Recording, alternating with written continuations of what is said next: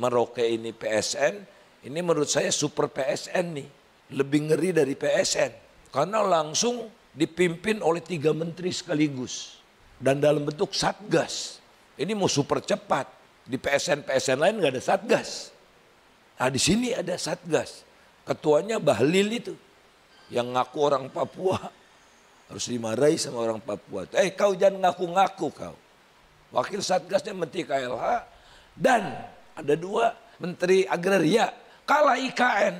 Wakilnya adalah wakil menteri. Ini tiga-tiga menteri. Bisa dibayangkan kan? Lingkungan dimuluskan, peruntukan tanah dimuluskan, dilibas semua. Oleh si Satgas ini. Ini yang mengerikan buat saya.